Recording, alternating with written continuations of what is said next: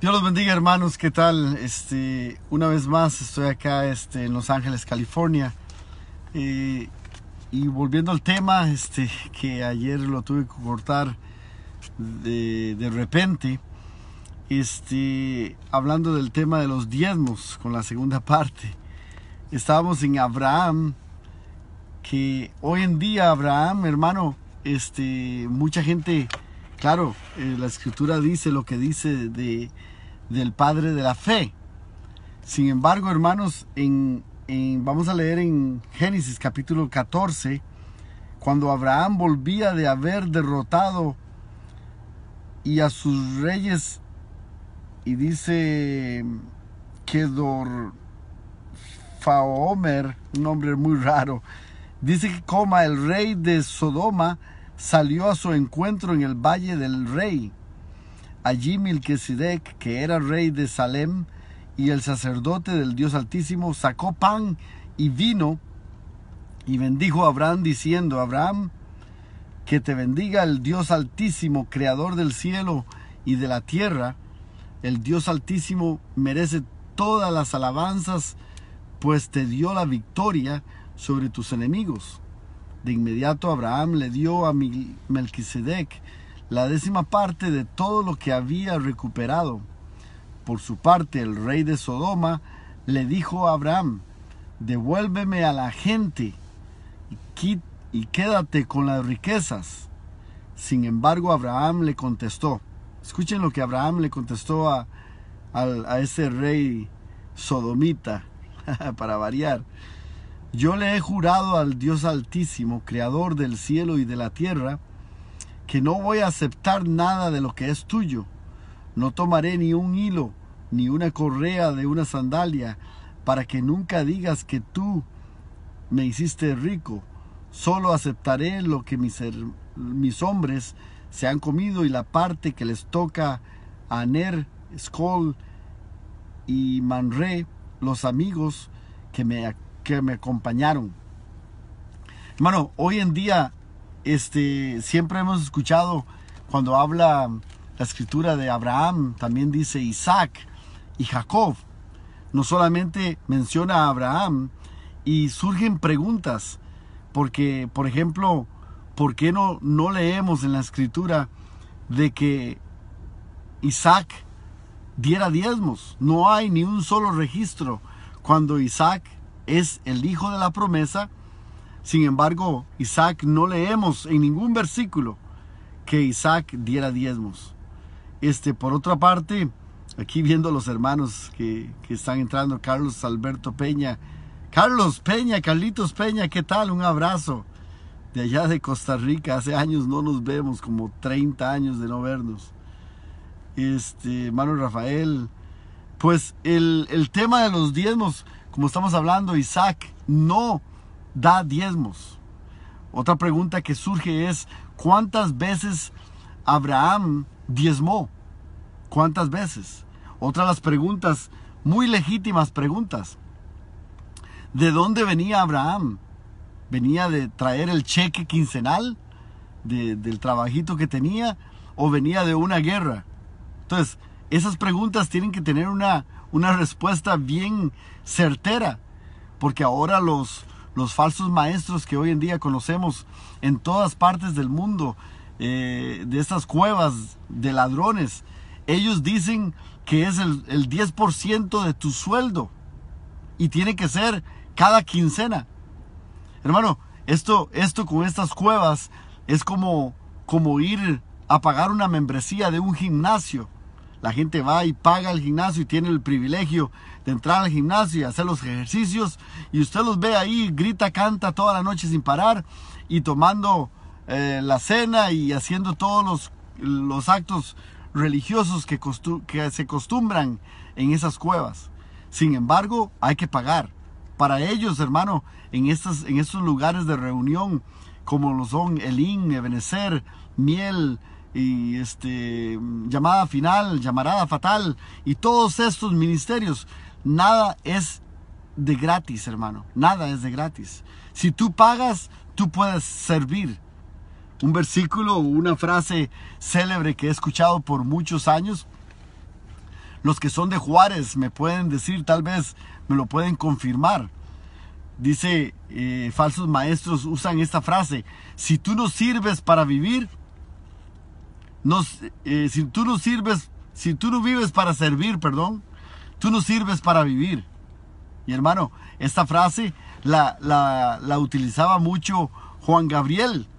Entonces, ¿en qué nos estamos basando para, para creer frases, para creer a lo que nos diga el predicador, para creer a todo el montón de, de actos religiosos que la gente hoy en día quiere hacer ver que son actos cristianos, actos religiosos y que son buenos este, hacerlos. Por ejemplo, el ir todas las noches a un templo, el eh, qué, tan, qué tan verdaderos son los, las ofrendas, para dónde van dirigidas esas ofrendas. Cuando leemos en la escritura que las ofrendas eran para los pobres, para los necesitados. Alguien me ha escrito por medio del Facebook, y discúlpenme que ando un poquillo medio malo de, de la gripa, pero este, alguien me escribió de que dice que en sus iglesias todo va para el bolso del pastor. Todo va para la, para, claro, tienen que pagar el, templo, tienen que pagar la electricidad y todo eso. Cosas que son entendibles. Pero lo que no es concebible, hermano, es de que esos pastores se han hecho enriquecido ilícitamente con el dinero ajeno y han manipulado, han engañado, han este, hecho, eh, extorsionan a los hermanos, los manipulan, los engañan y todo con palabras fingidas por la, por la avaricia que ellos tienen, usan la escritura para poder abusarse del ingenuo, del menesteroso, del necesitado y del pobre. Hoy en día todo esto que les estoy hablando, hermanos, y que comentamos ayer y que muchos nos estuvieron escuchando, hoy en día esto es este es peor que el SIDA y que el cáncer. Porque todo el mundo, hermano, en las calles, cuando hablamos con hermanos o con amigos y hermanos que están apartados de la fe en Cristo, ellos me dicen, no, es que todos son iguales. No, claro, hermano, en esas cuevas todos son iguales. Usted y yo, por nuestra parte, tenemos que dar un ejemplo, un testimonio, que no, que no, nos, haga, que no nos relacionen con ese tipo de gente, hermano que no, que no vean en nosotros que nosotros vamos a hacer algo con ellos con tal de sacar un beneficio o un provecho de ellos. Y eso es lo que ha pasado. La escritura en, en Mateo capítulo 20, 25 al 28, si usted lo lee en el versículo 26, nuestro Señor Jesucristo se dirige y dice esta frase, mas entre vosotros no será así. Entonces, ¿Qué es lo que no será así entre, entre vosotros, entre nosotros? La escritura dice que estos gobernantes de los pueblos, de las ciudades, de los países, se enseñorean sobre las masas. Hoy en día exactamente sucede eso con, la, con las sectas religiosas que hemos mencionado. Bueno, tenemos que mencionar también la, las asambleas de Dios, iglesias pentecostales. Hermano, solo, solo cosas de rudimentos y doctrinas y costumbres de hombres que no tienen nada que ver con el Evangelio de Cristo.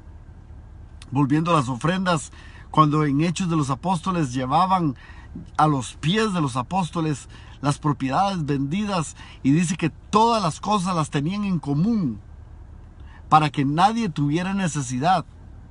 Hermano, hoy en día no, sucede eso. Usted ve que en estas cuevas el único prosperado y millonario y rico y que tiene plata y que manda a sus hijos a la universidad y sus hijos son profesionales y sus hijos son este ah, tienen de todo y no, no tienen ninguna necesidad cosa que la estoy diciendo en un buen sentido porque realmente no no no queremos no envidiamos el dinero mal habido de estos hombres pero solamente ellos que están a cargo de estas cuevas son los que reciben todo el dinero. Imagínense, 100, 50, 100, 200, 300, 500 personas cada semana dándole 2, 5, 10, 20 y 100 dólares en efectivo, lo cual no paga taxes. El dinero en, el dinero en, en efectivo no paga taxes.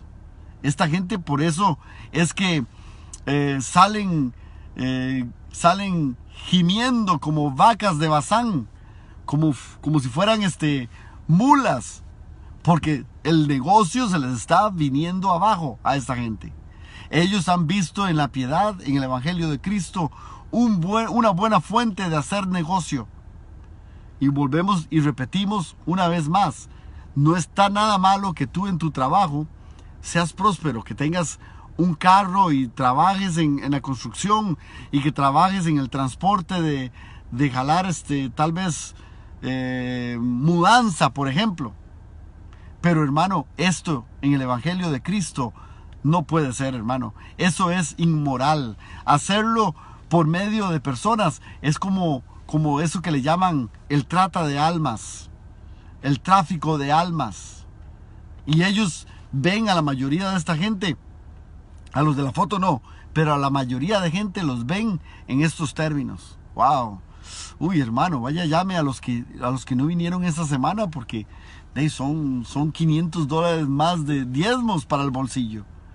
Y hermano, esto se está viniendo, ah, se ha venido dando durante los últimos 20, 30 años para acá, en donde vemos este el grupo TVN, enlace, eh, apóstoles y profetas, que no son ni apóstoles ni son profetas. Pero sin embargo los vemos ahí eh, eh, ocupando un lugar en el cual bíblicamente no existe ese lugar para este tiempo, ni mucho menos para la iglesia. Por lo, por lo tanto, vemos profecías de estos falsos profetas profetizando este, que te va a ir bien, que, que Dios te va a prosperar, hermano, y que te va a caer un carro del cielo. Y, hermano, y han pasado accidentes, carros caen de un puente y caen encima de otro carro, tenga cuidado. Pero no porque Dios, hermano, no es que Dios no te quiera bendecir, sino que, hermano, el pueblo del Señor, hermano, dice la Biblia, que el Señor es nuestro proveedor, que el Señor, Él suplirá todo lo que nos falte conforme a sus riquezas en gloria en Cristo. Entonces, si no creemos a la palabra del Señor, si no creemos a nuestro Señor Jesucristo, vamos a empezar a hacer cosas que son indebidas.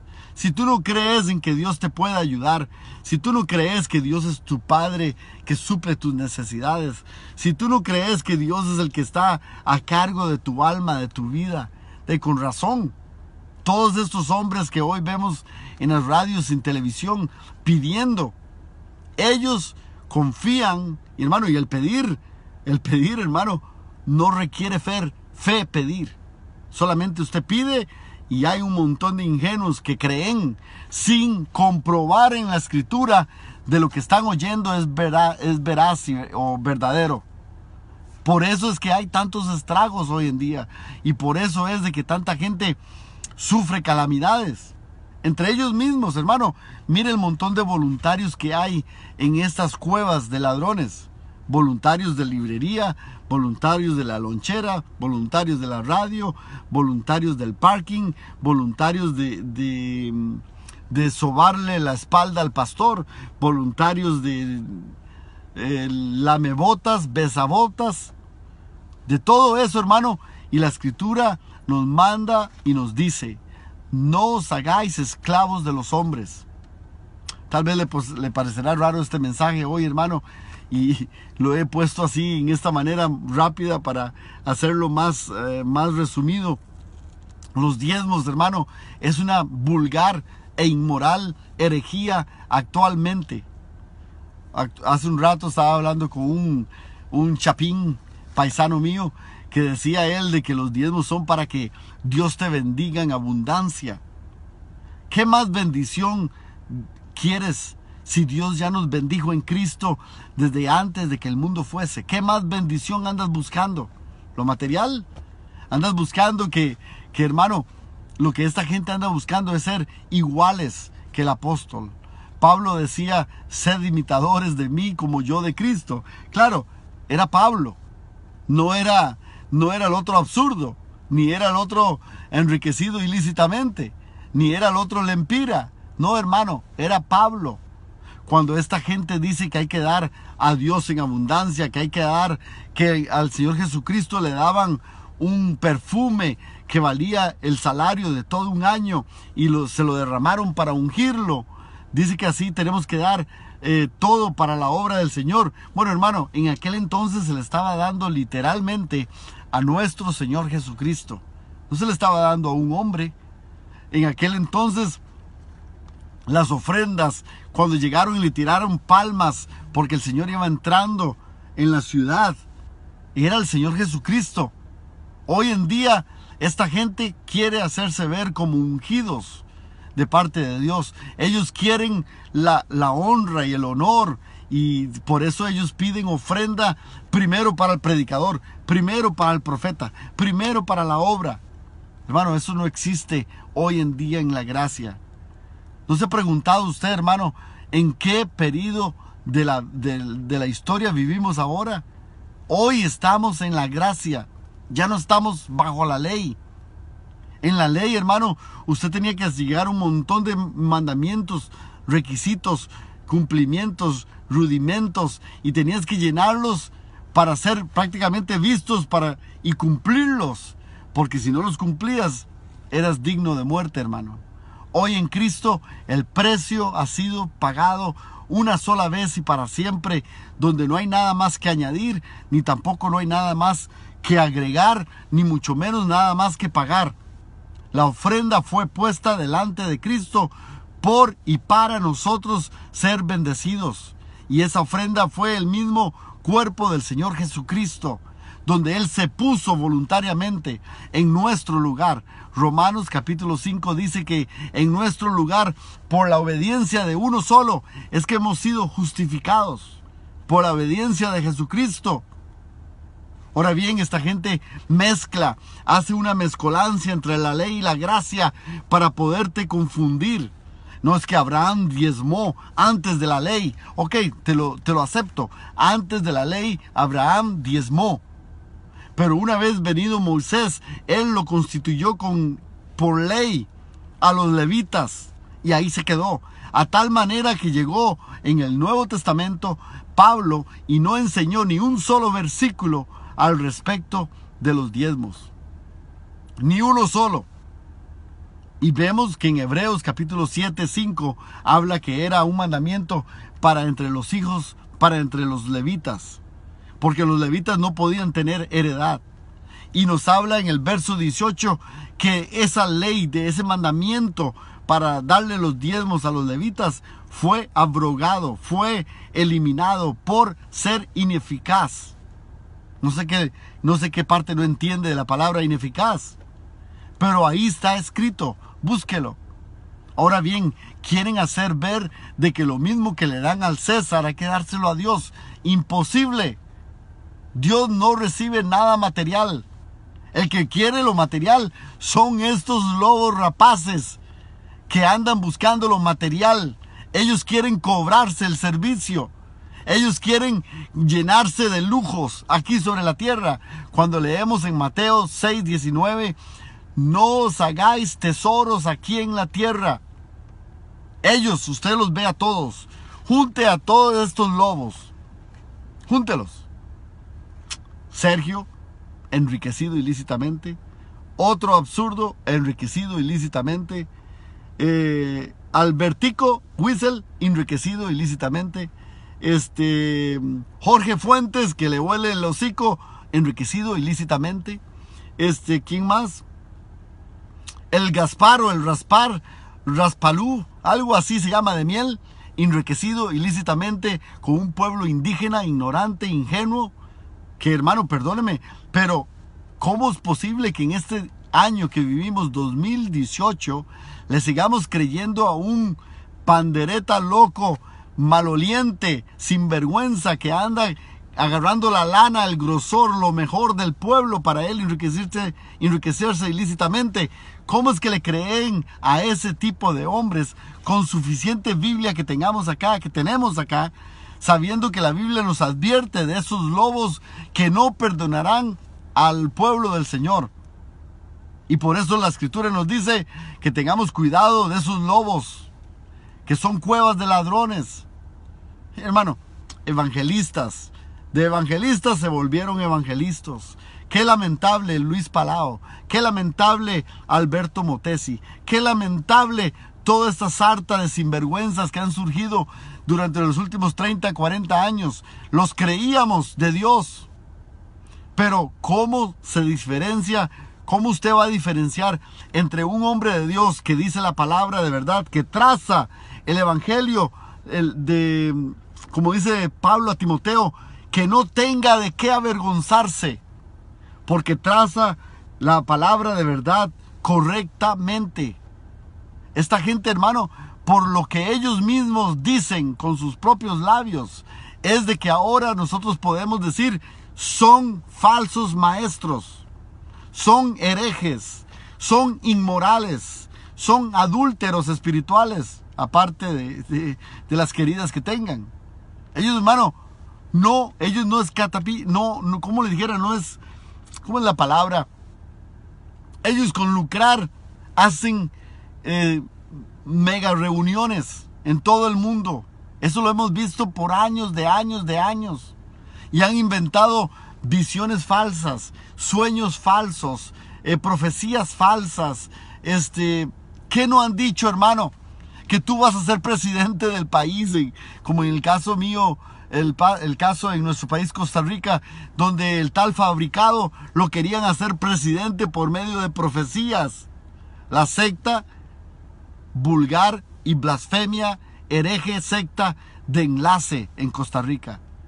De, de, sí, de enlace de Costa Rica. Aquí lo mismo. En Venezuela lo mismo. Recién un Zapatucci, no sé cómo se llama este Javier Sartucci, no sé cómo se llama el nombre, perdóneme. Eh, con el nombre de este, que dejó el pastorado porque Dios le dio una profecía por otro hereje que le dio una profecía de Racatalandia y le dijo, tú vas a ser presidente de Venezuela. Y ahora sucumbió. Por ahí vemos este, profetas falsas como una tal eh, Jacobs, algo así, Jacobs, Cindy Jacobs, otra hereje, vulgar, blasfemia, profeta de nuestros tiempos. Y entonces, ¿cómo es de que usted escucha semejantes profecías de parte de hombres y mujeres que saben, ellos mismos saben, que esas lenguas ni son de Dios, mucho menos esas profecías que están dando son de Dios. Y la gente, miles, bravo, bravo, amén, y se toman fotos con el lobo. Usted ve, usted ve que da risa los, los, los eh, Facebook de muchos hermanos ingenuos abrazados con el papi espiritual, abrazados con la papa espiritual, como si fuera el Jorge Bergoglio. Peor están que, el, que todo el Vaticano. Claro, Vaticano no, no tenemos que decir, es una blasfemia, herejía, esa cueva de ladrones del Vaticano. Eso, eso hay, que dejarlo, hay que dejarlo claro. Pero en nuestro mover, hermano, en el pueblo latino está sufriendo todo lo que está sufriendo. Hermano, por culpa precisamente del el analfabetismo que hay entre nosotros. Por eso, hermano, tenemos que llenarnos de la escritura para que usted tenga una, una convicción, una fe inconmovible. Por eso Judas capítulo único en el verso 3 y 4 nos exhorta a contender ardientemente por la fe que nos fue dada. ¿Y cuál fe, hermano? La palabra del Señor. Si tú tienes una convicción de que esto es de Dios, de que la escritura nos dice, no nos enseña diezmos, que la escritura nos dice que, que la única obra que Dios depende o requiere de nosotros es que creamos en Jesucristo, Juan 6:29. Esa es la convicción que tú tienes que tener, no en lo que diga cualquiera, así como nosotros, cualquiera como nosotros. No, hermano, lo que dice la escritura, la interpretación del hombre, si no va acompañada del contexto bíblico. No podemos darla como veraz o como verdadera, hermanos. Pero hoy en día, miles de miles en todo el mundo, usted los ve. Uy, hermano, que mande, mande una ofrenda de amor, que mande también este, que mande este, ah, promesas Eso es lo que dice. Que, los, que las primicias. Hermano, ya es redondar todo lo que estamos diciendo, hermano Carlos Vila. Un saludo allá en San Diego, creo que estás. Y este, claro, no vamos a concordar con muchos hombres, hermanos y amigos en la fe, pero esa es la única fe que conocemos. Un solo Dios, una sola fe, que es la palabra del Señor. No la fe de que yo digo, uy hermano, yo tengo fe de que voy a decretar y voy a declarar. No, esa fe no sirve, eso no, eso es un invento. Oh, cancelo, cancelo, cancelo. Eso es otro invento. No, hermano. La única fe verdadera en la escritura, un solo Señor, un solo bautizo, este, un solo Espíritu Santo, una sola iglesia verdadera, cuya cabeza es Cristo. Y esa iglesia verdadera somos los redimidos del pecado, de la maldición de la ley, y somos los, la iglesia de Cristo. Una sola iglesia. Por lo tanto, todas estas sectas que cobran y viven del pobre y del menesteroso y del, y del necesitado y le sacan, le sacan, hermano, hasta, hasta, el, hasta el cheque del welfare, le sacan estos sinvergüenzas descarados. Esas iglesias, esas sectas no son de Dios, hermano. No pueden serlo. A la luz de la escritura, no pueden serlo. Hoy en día, hermano, si no nos agarramos de las escrituras, vamos a estar en bastante conflicto. Cualquier viento de doctrina va a venir y nos va a arrastrar. Por eso la gente dice, uy, es que Dios, Dios abrirá las ventanas de los cielos si yo diezmo. No, hermano, no hay, no hay nada de eso de diezmos en todo el Nuevo Testamento bajo la gracia en Cristo. No hay diezmos, no existen diezmos. Ahora bien, dicen de que la viuda dio todo. Mire la, forma de manipular de estos desgraciados falsos maestros. Que la viuda dio todo lo que tenía.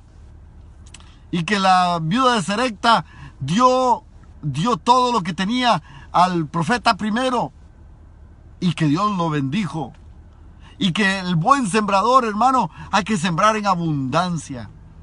Entonces, ¿por qué, ¿por qué no te atreves a dar cada quincena el cheque en totalidad a la obra con esos cerdos. Si un, si un agricultor, hermano, tiene 100 semillas de maíz, ¿usted cree que ese agricultor va a sembrar solamente 50 o 10 o 20? ¿O va a sembrar todas las semillas que tiene porque vio que la tierra está arada y es fértil? Hermano, ningún agricultor va a sembrar poquito, va a sembrar toda la semilla porque la cosecha va a ser grande.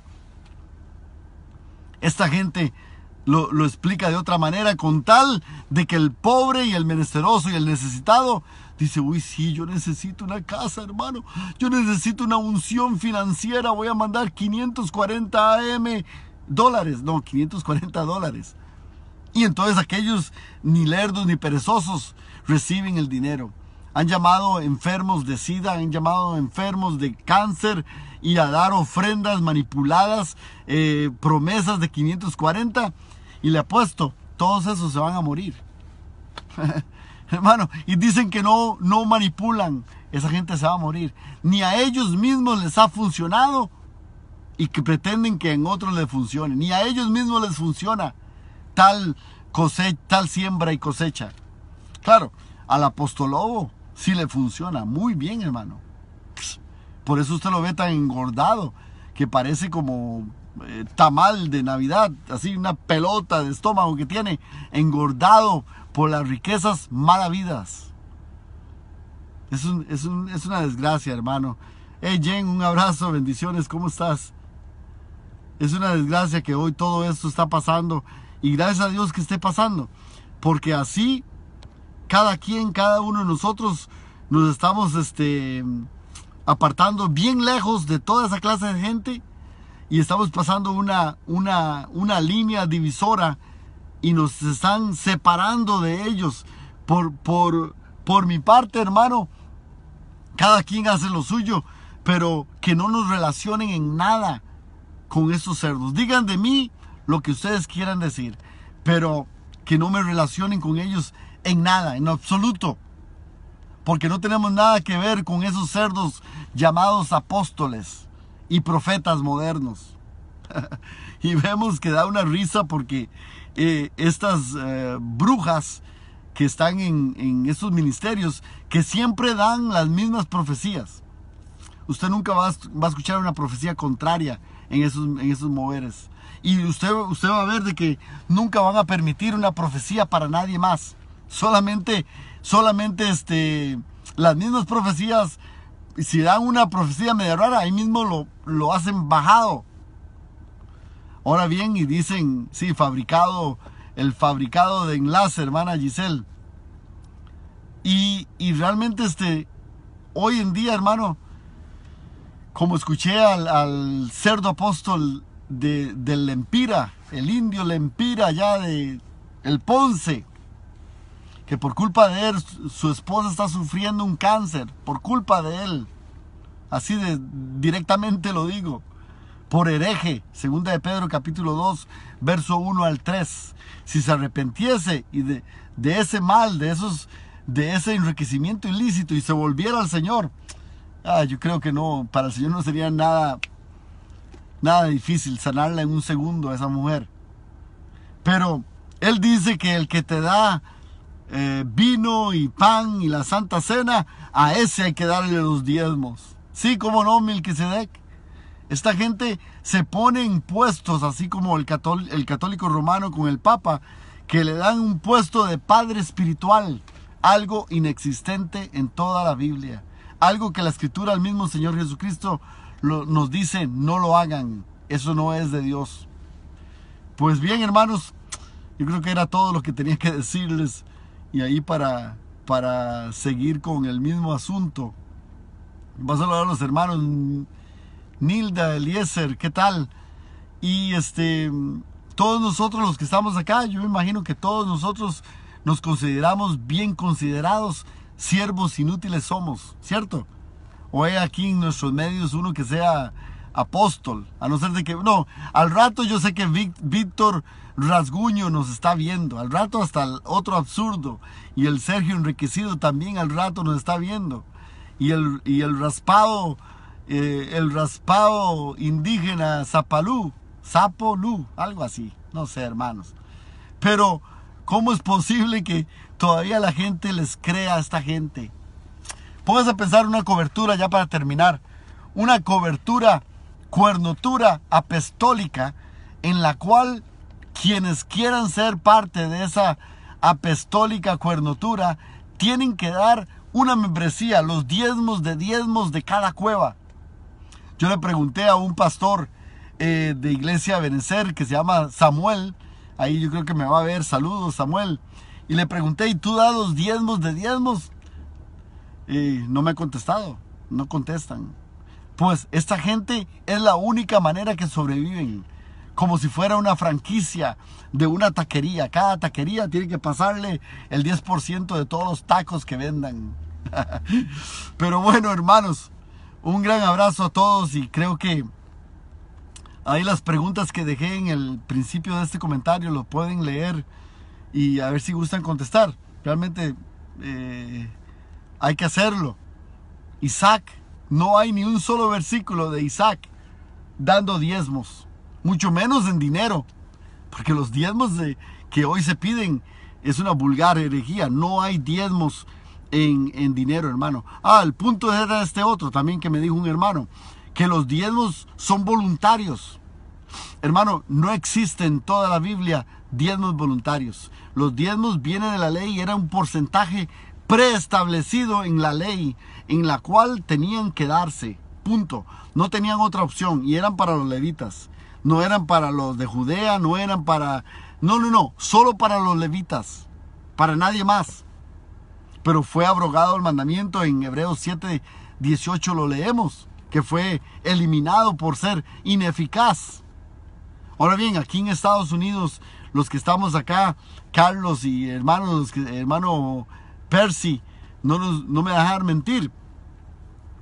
Eh, al IRS le pagamos miles de dólares. Los que pagamos al IRS, no, no le pagamos al IRS nada voluntariamente. Ni porque yo siento en mi corazón voy a pagarle al IRS. Ni puedo darle al IRS lo que yo quiero darles a ellos.